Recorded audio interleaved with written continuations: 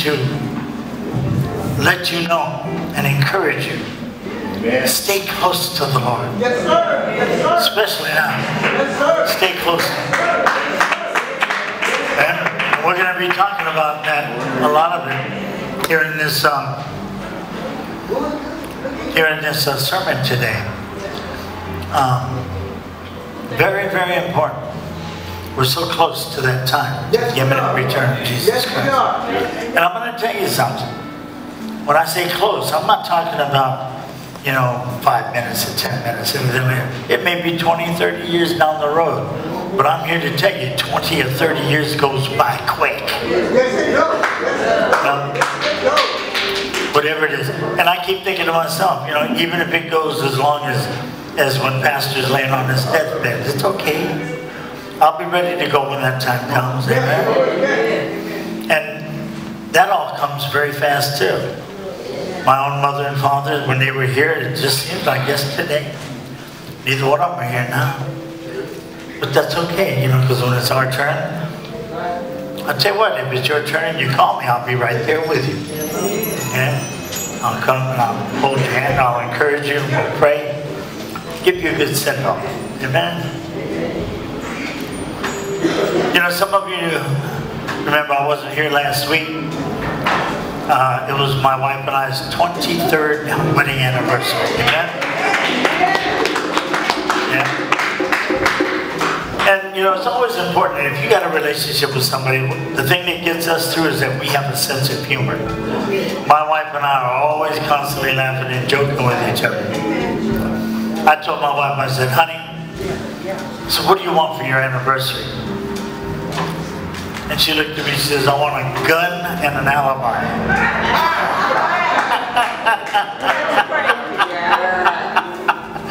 she wants a gun and an alibi. Oh. Oh, Lord, that person. You know what? We both laugh about stuff like that. But uh, if you hear that I got shot, you know who did it. Amen.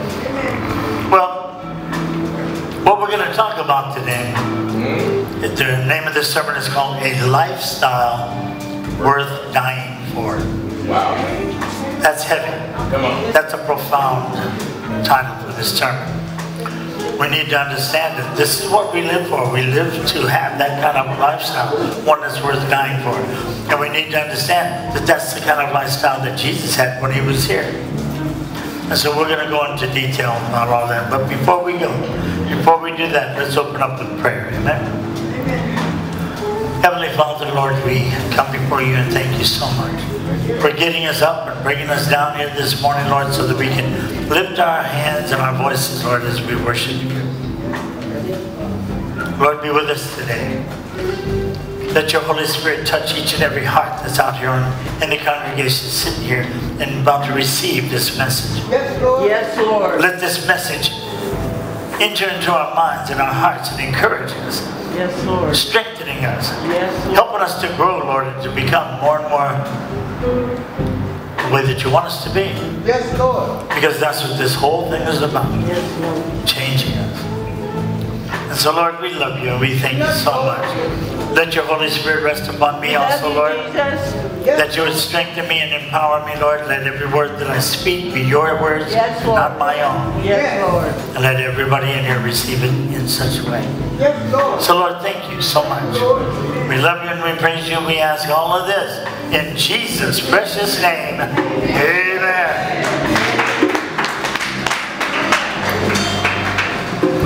Lifestyle worth dying for.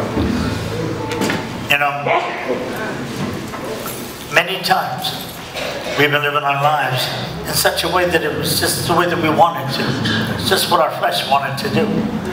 We had boyfriends and girlfriends and all this stuff. And, you know, in this country here, man, you know, ever since the 60s when they had free love, That's what everybody's been engaging in ever since That's the most expensive kind. Yeah, free love is the most expensive kind of love.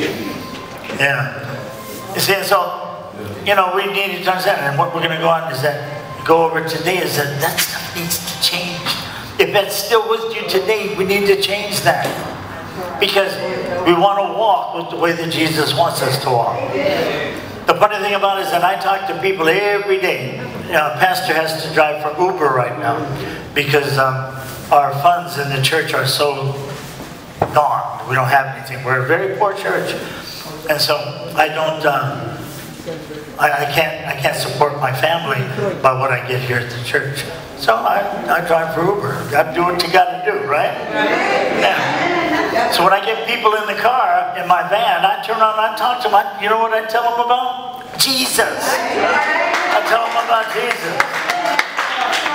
I bring Jesus wherever I go. Which I always do. But you know what I've noticed?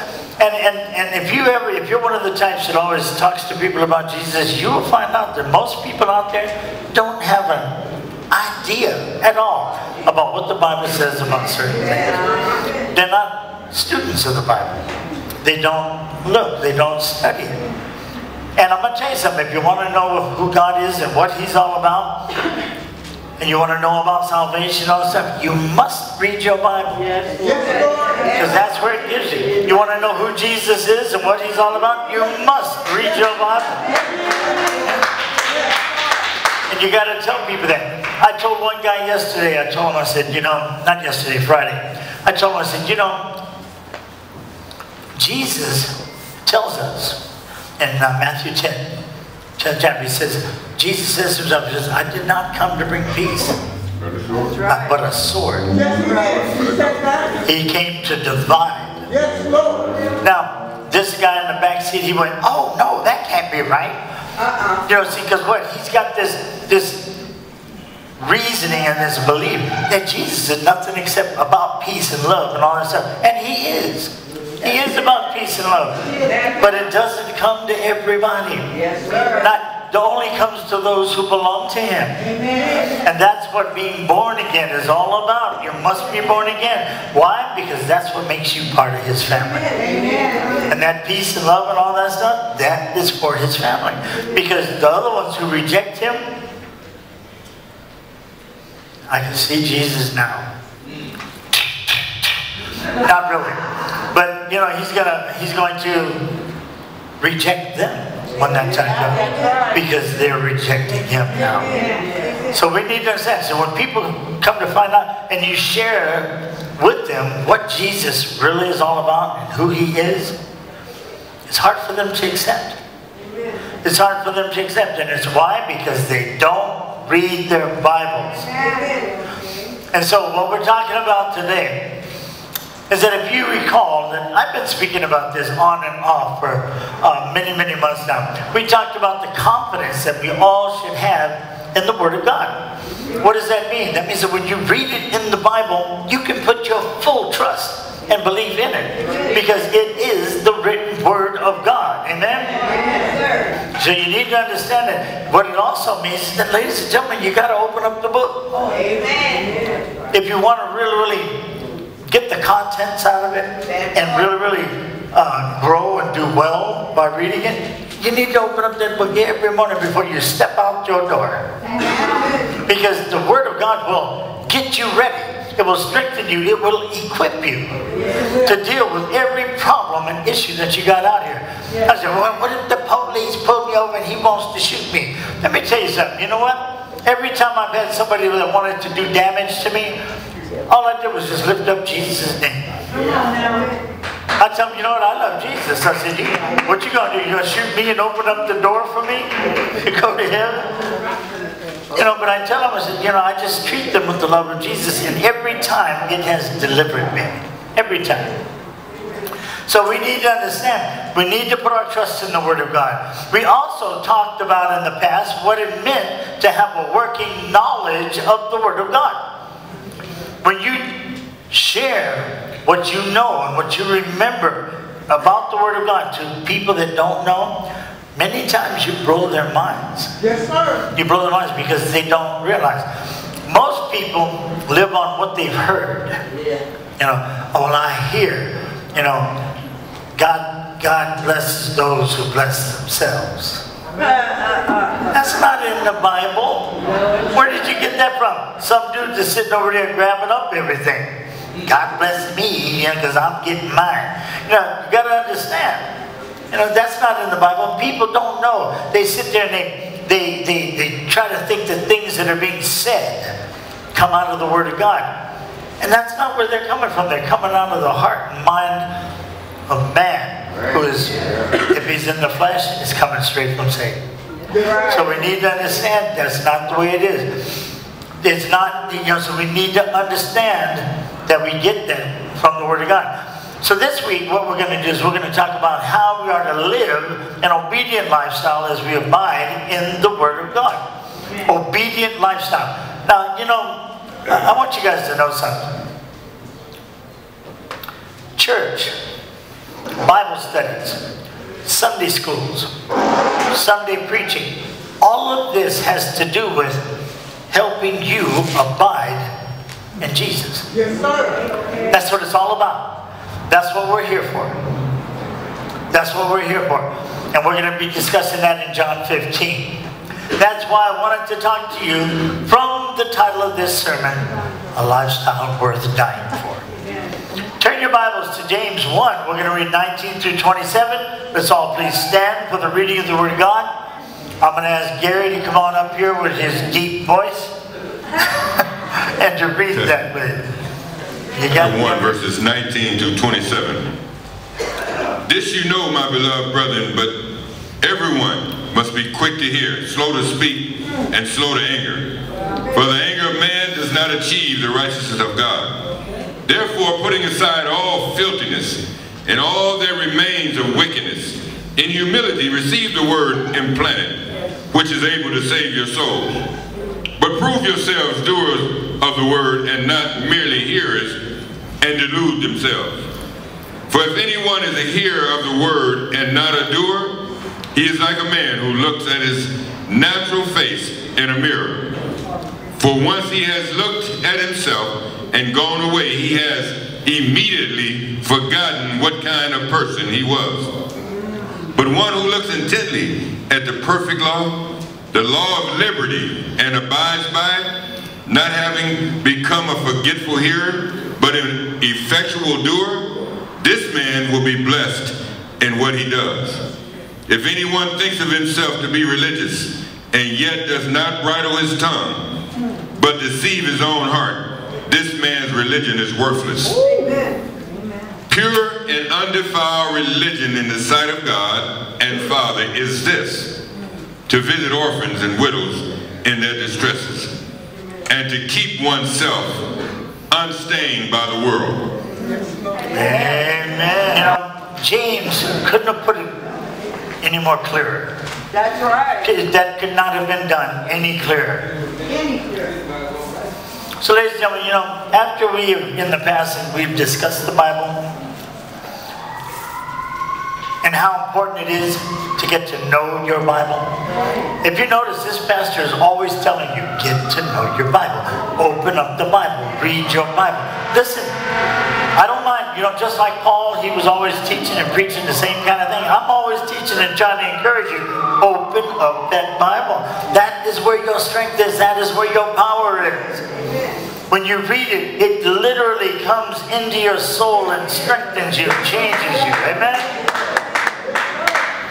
The Bible has the power to make you into a new man and a new woman as you as you engulf yourself in it. It'll change you.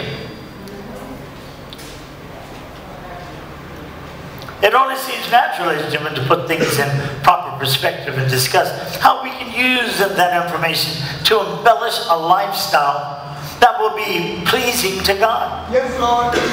After all, what good does it do us if we just lightly skim over these rich words of wisdom found in the Bible, in the book of James, and never let them stick in our minds to the point of making a change? If you look at yourself, and listen, you know, I love the way James puts it. It's like if you look in a mirror and you see yourself. you know and you recognize who you are, but then as soon as you turn around and leave, you forget what you're all about. Why does that happen? You look in the mirror and you say, well, I brushed my teeth and yeah, I'm good there. You know, I combed my hair and I trimmed up my beard. I did all that stuff, you know, combing. I'm good. Then turn around and forget what you look like. Just forget. You see, and it's like that. If we don't abide in the Word of God, that's what we do. We turn away and we forget. I don't know about you, but I like, I like to really look at myself and see what I'm all about. Sometimes I don't like what I see. You. You know? Yeah. And I know that if you if you love Jesus and you're up in here, same thing happens to you. You look in the mirror and you remember, man, I did this. You remember these things. You know what you did. And it just bothers you and it bums you out, you know, and, and that's that's what happens. See, think about it. Look at the way that we are made. We're able to reason and make decisions. God has made us in such a way that we are able to read His Word and see where we are in contrast to it. When I read the Bible and, and, I, am listening to what James says, I'm, in, I'm looking at all of that and I'm comparing it to what I'm all about. Am I am I okay here? Am I okay there? Oops, I ain't okay there. You know, and then we need, and then when you find something, you hear something that is not right, you need to confess it to God. And tell the Lord, you know, Lord, I was, was reading James and, I, and, and he read this and, and it just convicted me. The Holy Spirit just slapped me right upside the head. That's you, Tony. See, we need to understand and ask God, help me. Help me, Lord. Get rid of that. Help me to straighten that out.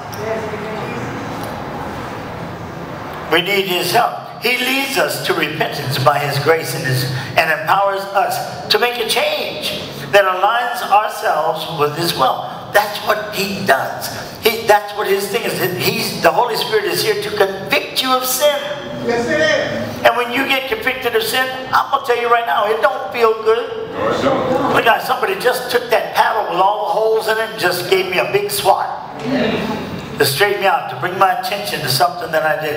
It happens to me all the time. But you know what? That's what's so wonderful about belonging to Jesus. You might get disciplined, but if you ain't disciplined, you don't belong to Him. Amen? And I know that no matter what, and when Pastor Tony drops dead, I know where I'm going. Yes, sir. Amen. You know what I'm saying? It doesn't bother me a bit. I don't care nothing about that. This life is only good for me if I'm being a good husband and standing before this church, preaching and teaching and helping y'all when you have problems and trouble. Amen? That's the only way that this life is any good to me.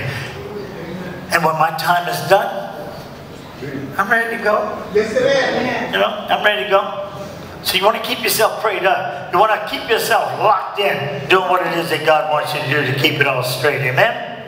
Amen. So now, just for an example, look at Jesus. His entire life was representative of a life that was always seeking the will of his Father.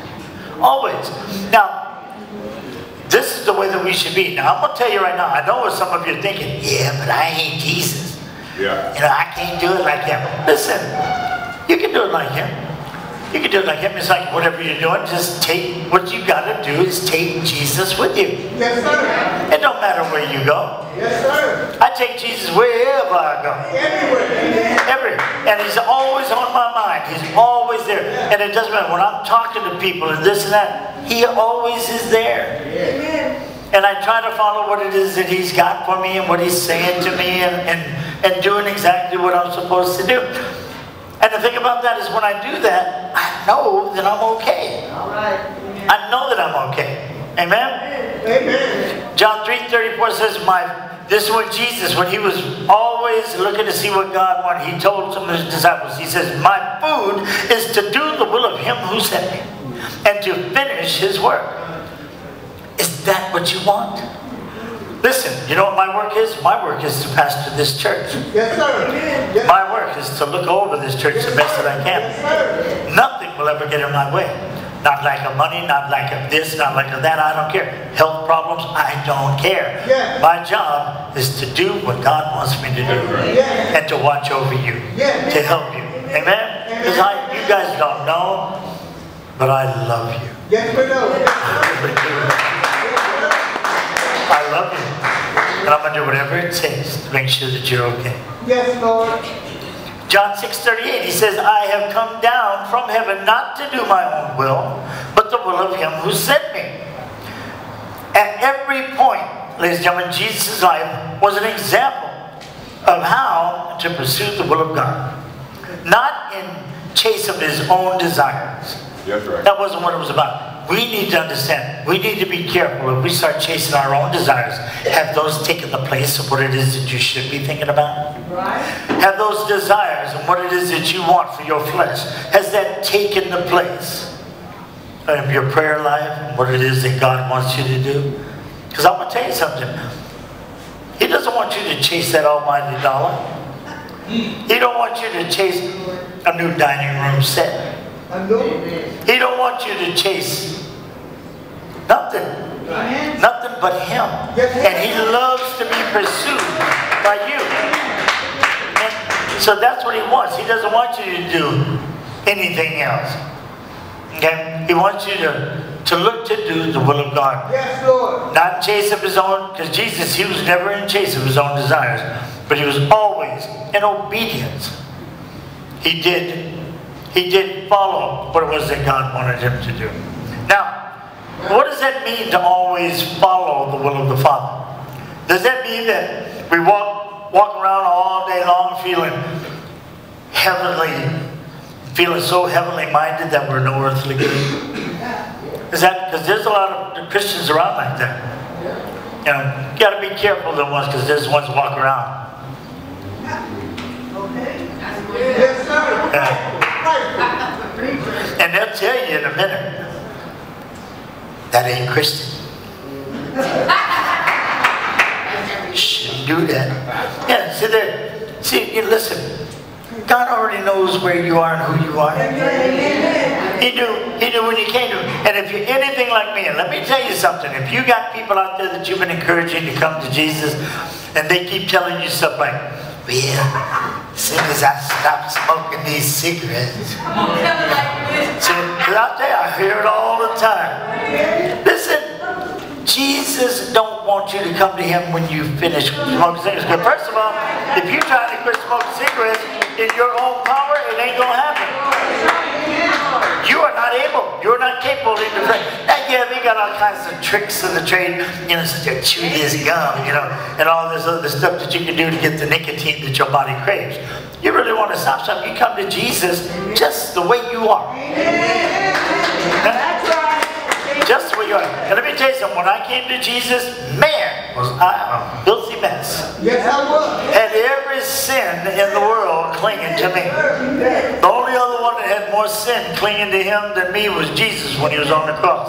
He was on this man, I'm telling you, I was messed up. Yes, I was. Doing all kinds of stuff. But let me tell you, why is it important for you to come the way that he wants, the, the way that you are? Because when he enters you, he's the one that begins to clean you from the inside out. Amen? He's the one that brings the change. Listen, when he came into my life, and before he came into my life, I did not like little babies. I did not like animals. I did not like anything. I just, you know, the only thing I liked was a crack pipe, a cold Olde English 800.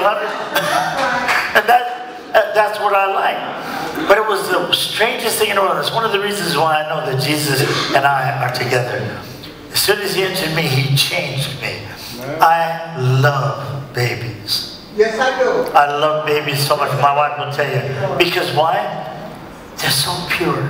Yes. They're so pure. Their little hearts don't know anything about sin. And, and it's like I, I just gravitate to them. I just want to hold them because the things that come out of their mouths, other than throw up, it's just beautiful. And you can listen to what they have to say because it comes out of a heart that's pure. Even when they lie. You know, even when they lie, and you teach them not to lie. But it's a wonderful thing. God is the one that makes those changes in you. Amen? We got to remember that. Think about it.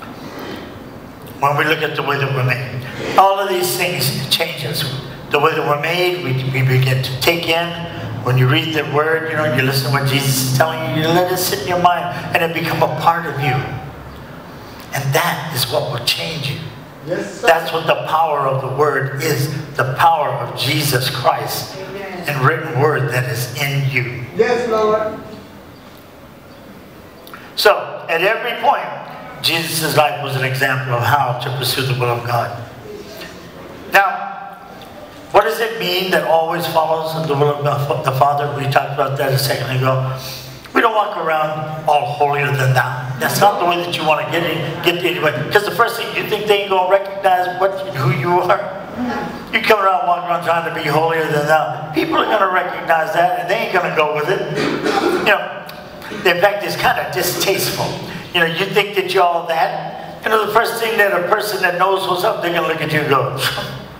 And then the next thing you know, they're gonna be looking at you to find out what you've been doing because I don't care what anybody says. None of us have arrived. That's we right. have- That's Okay? We haven't arrived. No, we haven't. You, you, you want to get in my background? You, you might find something that ain't cool, you know? But I ain't gonna tell you what it is. No. My, my wife knows what it, no, she knows all about me. But I'm gonna tell you something, all the things that ain't right with me, I'm battling with them. I'm battling with them because I don't accept it. And I want to walk with Jesus. Amen? Amen. The best that I can. So each and every one of us got those issues in one way or another. Every last one of them. Amen. Pursuing the will of God, it does not mean that you have to walk around being all pious.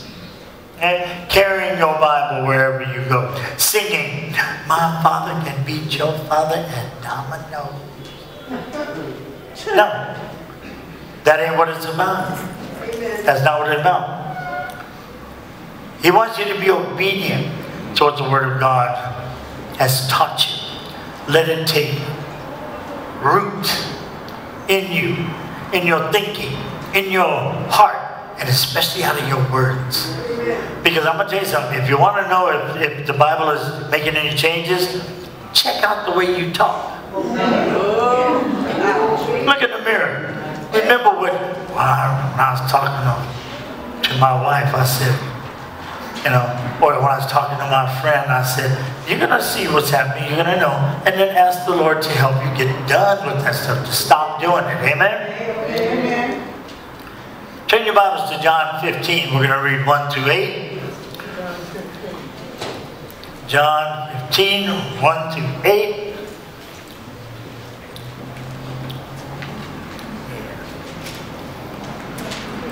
Give me an amen when you're ready. Amen.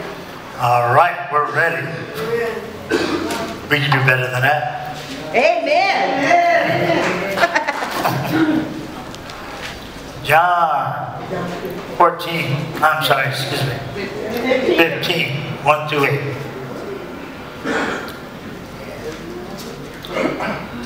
Hmm. Interesting. Okay, you ready? Yes. He says, and this is Jesus speaking, he says, I am the true vine. My Father is the vine dresser.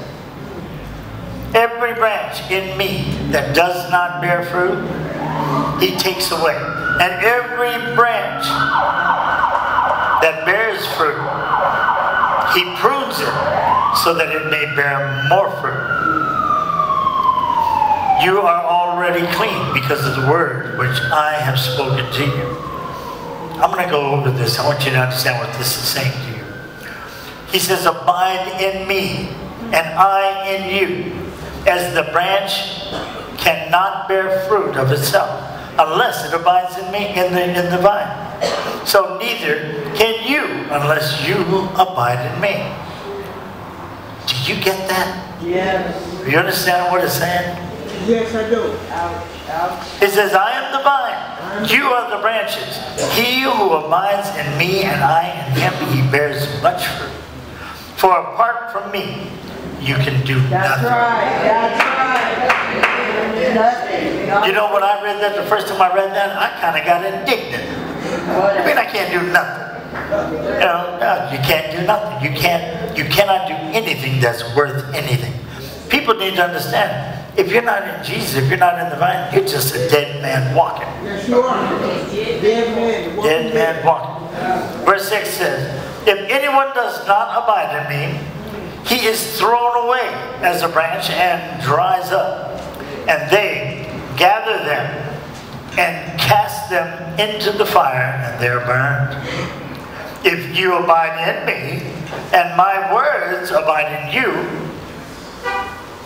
and whatever you then, whatever you wish, he says, ask whatever you wish, and it will be done for you. My Father is glorified by this. And you, And you hear much. It's hard to see this. Bear. And you bear much. You must bear much fruit. Is it like- And you must bear much fruit, and so prove to be my disciples. No, Okay. Your eyes are getting old, Pastor Tony. Oh, tell me about it. That little flash flashlight, I should have brought it up here. Anyway, ladies and gentlemen, we need to understand what this is telling us. Things will be, be uh, it says here in verse uh, 15, what is it, 3, it says, You are already clean because of the word which I have spoken to you. What is that saying? Listen, understand this, because this is, this is one of the most important things about Christianity. You may be struggling with something. You may be struggling with the words that you use out of your mouth. Maybe you're still cussing and carrying on. You might be struggling to get, get rid of that. But what Jesus is telling you is that you're already clean because of the word that he spoke to you. In other words, when you received Christ Jesus in your heart, you are cleansed. And all of your sins that you have a problem with, he's already taken care of them. So you are clean. You are clean no matter what. You're clean because you belong to Him. And you, you're clean while you struggle with the issues and problems that you have. God is going to help you get rid of them. You just keep on, keep on praying, keep on confessing, and asking Him to forgive you. And eventually He's going to give you the victory. Yes, sir. Yes, sir. It's the way that it is. Amen? Amen. Because of who you are. You belong to Christ. You are one of His children. And it ain't what you know, it's who Yes, you know. Yes, sir. Amen? This is so important for us to understand. So when we walk through this life, abiding in Him and becoming effectual doers, and not just hearers of the word, we are pursuing His will. Now, the wonderful thing about this is that it takes all of the pressure, it takes all of the pressure off of us. It takes all of the pressure off of trying to figure out what He wants you to do. When we walk with Him in obedience, we become effectual tools for God to use for His glory. But He is the one that leads us and guides us. It ain't about us trying to figure out the way. He's the one that does it. Let's remember that Proverbs 69 says that the mind of man plans his way, but the Lord directs his steps. Say that. Say that. So it doesn't matter what you want to do. It doesn't matter what you think that you need to do. God has already got you. Yes, sir. He's already got you, and He's going to direct your steps and move you right where He wants you to be. Why? To receive what He has for you, and to also direct you into what it is that He wants you to do. That's the way it works. And so it takes all the pressure off you. You, I used to say, Lord, you want me to go to college? You want me to do this? You want me to do that? Hey, that ain't what it's about. He don't need you to go to college in order to use you to do. You know what he wants? He wants your heart, a diligent heart that loves him. Amen? And he does all the rest. He makes all the things. We were we were celebrating Sister Demetra's 10 year uh, uh, anniversary of being here at the church. The woman has been faithful. She comes here, she sings, she does what she wants, and I have watched her grow. I watched her grow, and she she has preached messages from this pulpit that I just looked at that and I went, boy, oh boy, that was good. I watched it happen. And see, the thing is, is that she wasn't the one that made it all happen. Jesus was. Jesus was. Jesus directed me to, to open up a spot for her to preach, and that's what she did. She came in, and the Lord spoke through her, and she did a wonderful job. We need to understand now, you sitting out there, it's your job to hear what's being said here and let the Lord move you. Let the Lord direct you. And He's going to make it all happen. if he, and let me tell you, you want to do something special for the Lord? Tell him. Lord, I want to be used by you. I want to do something special for you. Please direct me. Now, how's he going to direct you? He's going to, first of all, direct you. He's going to direct you by what's going on here in church. He's going to direct you to Bible studies. He wants to see your faithfulness. He wants to see you come and meet with the church in Bible study. Why? So that you can come face to face with him. And how are you going to do that? By reading that word. You're going to study that word. You're going to come face to face with him and you're going to get to know him. Because that's what he wants. He wants to get to know you too. He wants you to get to know him. It's all about knowing. He wants you to know him. So Jesus is telling us that we need to stay fixed in him. You need to keep your mind fixed in him. And that doesn't mean that you're so fixed in him that you can't do nothing else. No, no, no, no, no. He wants you to be fixed in him because whatever you're doing, you just always have him in your mind. Because going to come up. Lord, what do you want me to do? How do you want me to handle this? Because you're going to have this decisions to make every day. What it is that you want. My brother's looking for a job. Lord, you know, I'm getting ready to go in here, interview. What do you want me to say? Would you please take over for me? Because Yes, I want to say the right thing. And as your interview goes and everything, trust in the Lord and He'll help you get through it. Say all the right words. Then you can bring 10% to the church. Yes, sir. Yes, sir. Come on to teach you about tithing too. Sometimes, if we're going to do that, be just like Jesus, how do we do that? So when when we abide, one of the ways that we do this is that when we abide in the true vine. Now we need to abide in the true vine. What does that mean? That means that we come to understand what it means to be a true follower of Christ. We cannot do it with ourselves, just by ourselves. We need to rely on Jesus. He's going to give us, He's going to show us the way. Just love Him. The way that you tell Him, you've already told Him that you love Him. Yes, I do. Yeah, if you didn't tell him that you love him, what are you sitting in here for? Mm-hmm. You know what I'm saying? You know, he knows that you love him. He knows that you care for him. And so what you do is you tell him and you abide in him. All the righteousness that you have in your life that you are performing, it's not from you. It's not from us. We can't do it on our own. It's Christ in us. Right. He's doing it through us. Yes, he is. We are vessels that he uses. Amen? Amen. Also, we not only share in the victory that Christ has achieved, but also we share in his suffering. Yes, we do. Yes, sir. Now, what is that talking about? Turn your Bibles to Psalm 22. We're going to read 1 to 3, then I'm going to jump to 6 to 8, then 11 to 18. So let's see what that's all about. Psalm 22. No, Psalm 22. Psalm 22, and we're going to read, first of all, 1 through 3. Word of God says, it says, My God, my God, why have you forsaken me? Far from my deliverance are the words of thy groaning. Oh my God, I cry by day, but you do not answer, and by night, but I, I have no rest. Yet you are holy. Then we jump over here to six to six and eight. Six to eight, it says, But I am a worm. I am a worm that am not a man. I sure need a flashlight. And not a man. A reproach of men. And despised by the people. All who see me sneer at me. They separate with, with their lip, with the lip. They wag the head, saying, Commit yourself to the Lord. Let him deliver him. Let him rescue him, because he delights in him. Ladies and gentlemen, we, do we not suffer like this too? We do. I, I've told people about Jesus, man, and I've had people that sit there and, and they look at me like, oh, I don't want to hear that, man. And they sneer at me and they say things. I had a friend of mine, he was a friend for many, many years. I'd, I'd be, I'd go outside, and somebody say, where's Tony going? He probably out trying to save somebody. Yeah, I was. I was, but he, he's, he's, he was mocking me. You know, he was mocking me. You know, he's dead now. he died. but anyway, and then we're going to go ahead and, and, slip down here to 11 through 18. Um, Lucy, you got a flashlight, honey? You want me to read it? Yeah, would you read it?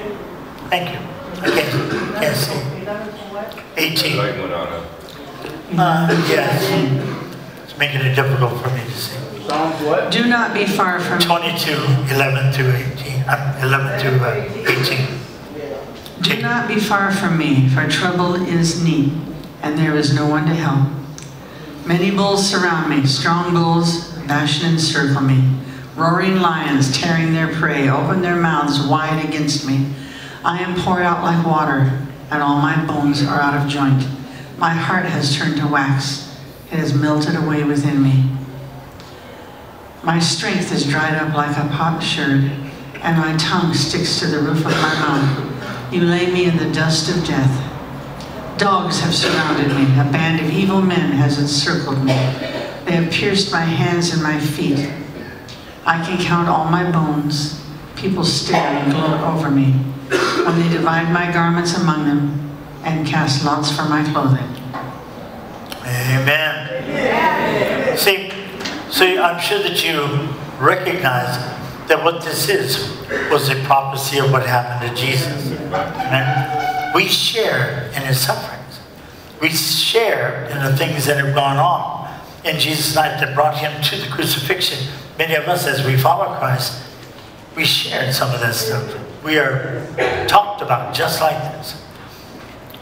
So, also, when we abide in him, we begin to mature and bear fruit.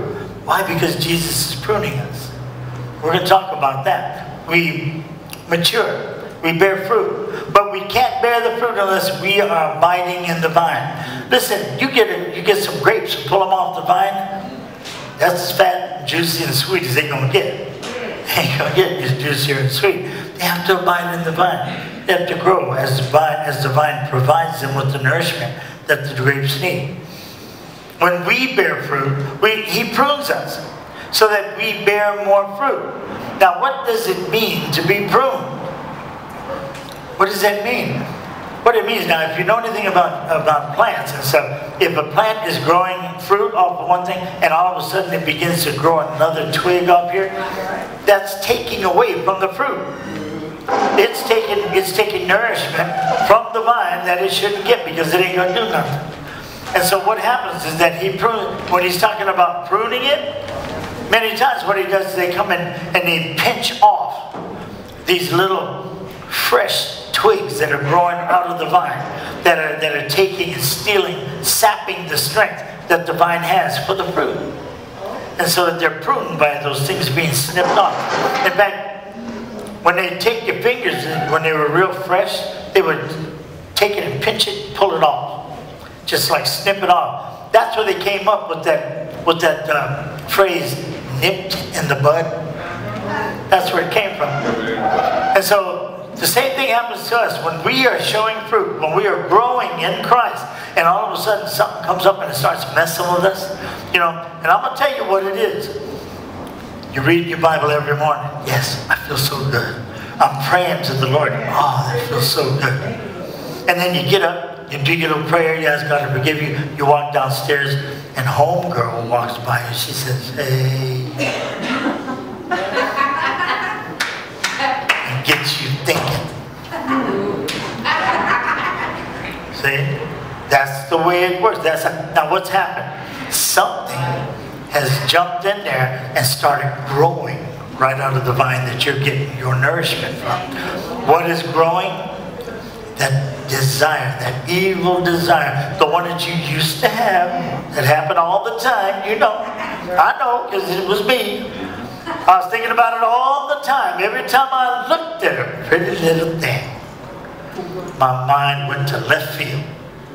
And there I went. I had to, did a lot of work did a lot of work to stop I had a, my fortune is I had a lovely wife that understood me. That's why she wants that gun and an alibi. no, she understood me and she loved me and, and, just dealt with me through all of this stuff anyway. And I've done a lot, I'm, I'm a lot better. I'm a lot better. I don't do it the way that, I don't do it the way used to. But that's how it happens. So what happens is that you get yourself mixed up in a relationship that you know you shouldn't be in. You're doing things that you know you shouldn't do. Now, who do you belong to? You belong to Jesus Christ. But you're still carrying around this defective flesh that always wants to do what it wants to do. It wants to do what it used to do. And so God has to prune you. And so what does he do? He removes whatever that object is with you. Okay? He removes it so that your mind is no longer on that. So that the nourishment that's coming up through the vine, when you read your Bible, it takes effect. It, it's in your body, it's in your heart, it's in your mind, and it's changing you to the way that you need to be. So in pruning, timing is also the most important. Why? When the buds or leaves first begin to grow, or the sinful relationships, whatever they first start to grow, and their tissue is soft. In other words, that, that little meeting with that little girl, you know, it's kind of early. You know, you know it ain't supposed to be right. So this is going to be a problem, so what's that? God is going to prune you. He's going to make sure that that stuff, if, you know, with your with your uh, approval, of course, He's going to help you to remove that. So that tissue is soft and it can be pinched off, okay, with just the fingers. So that's where we were talking about that nipped in the bud thing. Is God can do that to you. He can He can prune you, but He prunes people, spirit inside you, what it is that you desire, what it is that you want. He changes all of that. He changed it in me, so I know He can change it in you. Amen? Amen? It reveals where we stand, also, ladies and gentlemen, when we abide in Him. It reveals where we stand. So, what does that mean? We get a real good look at ourselves Amen. with painful precision. Painful precision. Let's remember James 1 23 and 24. It says, For if anyone is a hearer of the word and not a doer, he is like a man who looks at his natural face in a mirror. For once he has looked at himself and gone away, he has immediately forgotten what kind of person he was. It's real easy to look at yourself and just see what the what the what the mirror is showing you. Yes, I'm looking, I'm looking okay. You know, everything's looking good. But you ain't thinking about what you're doing. You're just thinking about how you're looking. I look, I'm looking okay. And you go on there, you go through life, man, forgetting all about what kind of person you are. Are you a good person? Are you a person that loves your neighbor? Are you a helpful individual? Or are you out to take whatever you can get? We forget all about that stuff. We go out and we begin to operate the same way that we used to the day before.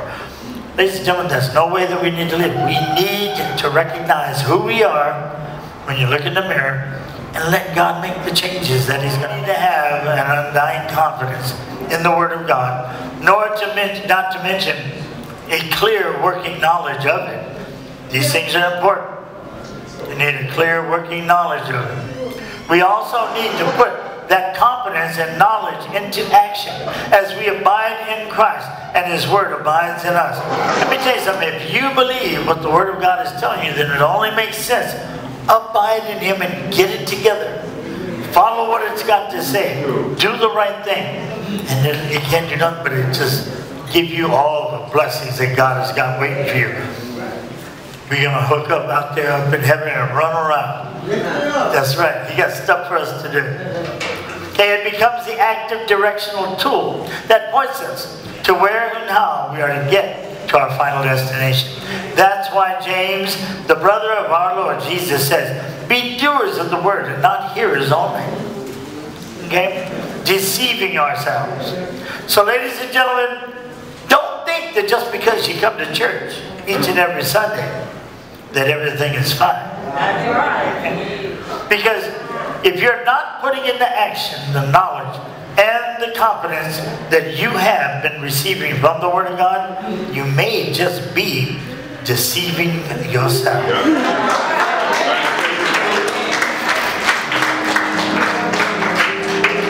Man, You know, these sermons, when I, when I do these sermons, they beat on my chest. They beat on my chest and they enter my heart. You guys don't know. I may be I may be preaching and teaching you, but I'm getting a bunch out of it myself. Amen.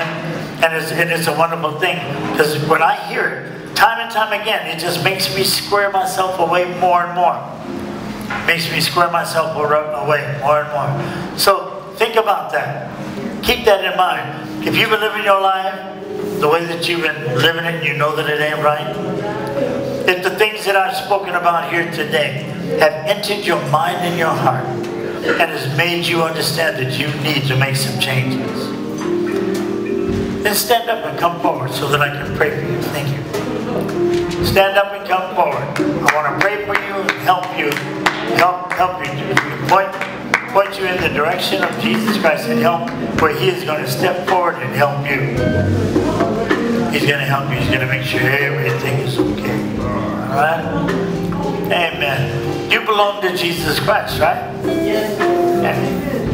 And so if you've been living your life wrong, You've been doing things that you know you shouldn't do. We're going to pray about that right now. We're going to confess it. But let me tell you something. Because you belong to Jesus Christ is what makes it all happen.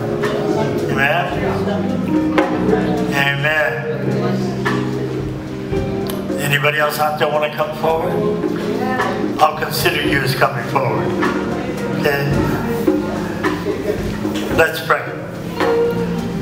Heavenly Father, precious Lord, we can't thank you enough, Lord, for everything that you're doing. We thank you for bringing us down here this morning, Lord, because we needed to hear this word.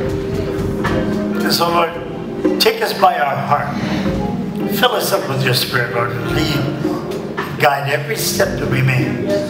We know that you are the one that's in control of what it is that we do. You're the one that's in control of the changes that are going on in our lives. And Lord, we know that you don't just change us in such a way that, that everything just blows our minds so fast. In some cases, there's some sins that you take from us. But Lord, mostly, it's a walk that we're going to have to walk for the rest of our lives. As we allow you, Lord, to do the changes in our lives that we need. So, Lord, all I can say is have your way with us. Yes, Lord. We belong to you, Lord, and we want everything that you want for us. Forgive each and every one of us, Lord, for anything that we have thought, said, or done Yes, that was offensive to you. Change us where we no longer do those things, where we keep our lives straight now. So, Lord, you are an awesome and wonderful God, and I thank you so much for everything. Be with us as we leave this place. Help us, Lord, to keep these things in our minds. And Lord, if we do sin, help us to drop to our knees immediately, confess it, and ask you to forgive us. We need you to change us. So thank you, Father, for all that you do. And Lord, if there's anybody in here that has not received Jesus Christ yet, we want to pray for them and ask that they would repeat after me right now. Heavenly Father, forgive me, Lord. Thank you for your forgiveness as I confess my sins to you. Thank you for your love. Thank you for allowing me to become part of your heavenly family. Be with me from now on and forevermore. We thank you and we ask all of this in Jesus' precious name. Amen.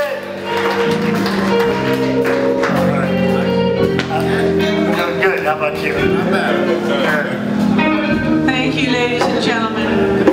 We're going to be beginning the Bible study out here in the sanctuary in just a few minutes. My name is Anthony Stallworth, and I'm a senior pastor at Central City Community Church of the Nazarene. We're located at 419 East 6th Street, downtown Los Angeles, on the corner of 6th and San Pedro. We are a church that serves the Skid Row community, so I'm sure that you can imagine that it's difficult for us to support our ministry with the tithes and the offerings. If today's message has helped you, perhaps you would like to come alongside Central City and prayerfully consider helping support this ministry by sending your tax-deductible gift to Central City Community Church, P.O. Box 13273, Los Angeles, California, 90013.